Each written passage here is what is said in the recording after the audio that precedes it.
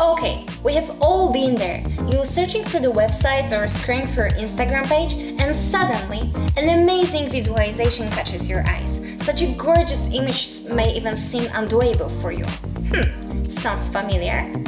Don't worry, now is the time to change this.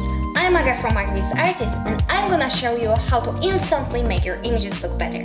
Let's dive in.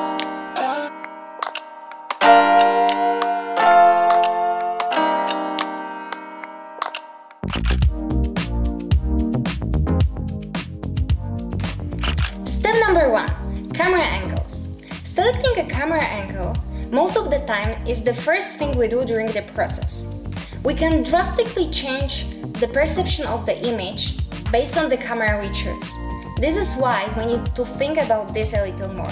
No more shortcuts, no more excuses. Don't just do the easiest camera angle, the one that always works. Take a couple extra minutes and think about your composition.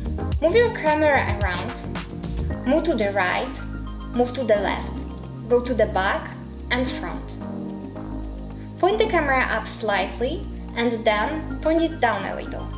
Test some different heights, maybe imitate the waist position or shooting from the knees.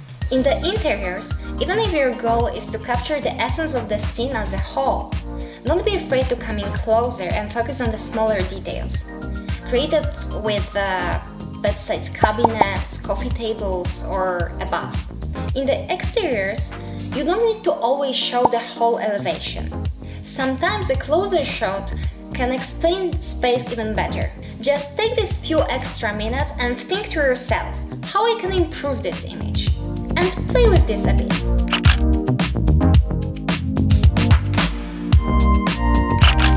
Step number two shoot through something.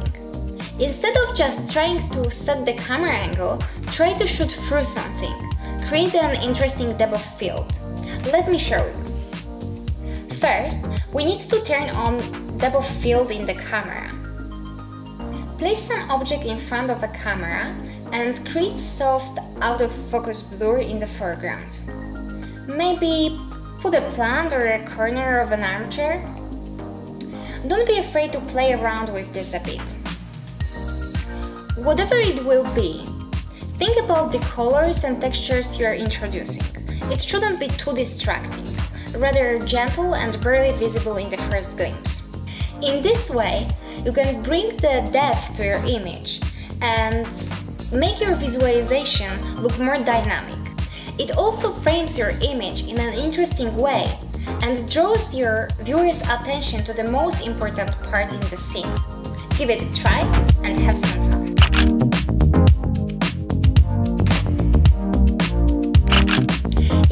Blue and orange colors of light into your scene. Blue and orange colors are opposite to each other on the color wheel. It means that they are complementary colors. These colors offer the strongest contrast, create a vivid and energetic effect. You should use this duet a lot. Let me show you. For example, in the exterior shots you can use a cold blue dusk sky with the warmth coming from the orange interior light. Or in the interiors, you can set the blue environmental light with the orange artificial light.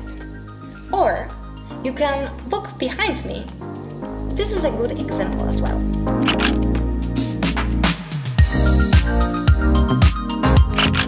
Step number 4. Think about the details. Choose your subject first and then compose the rest of the scene. You need to think what you want to show in the frame. Just a few elements. Perhaps some books, maybe pillows on the couch, or the back in the corner. That helps tell a story without drawing away your viewer's attention from the main subject. But remember, it is super easy to overdo this. Every time you want to put additional elements, ask yourself, what is my subject? And remove all distracting elements. These extra things should be only the complement of your scene, just to give some extra touch.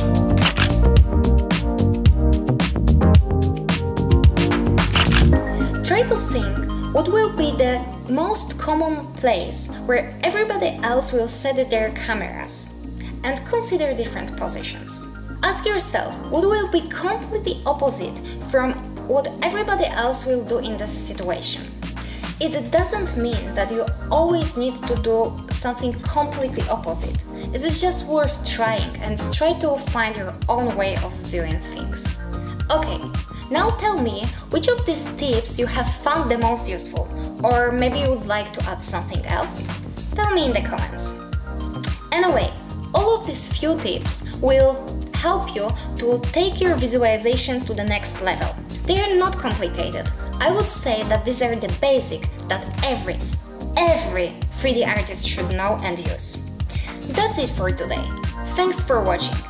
And don't forget to like this video if you found this interesting, share it, subscribe and do all these wonderful things.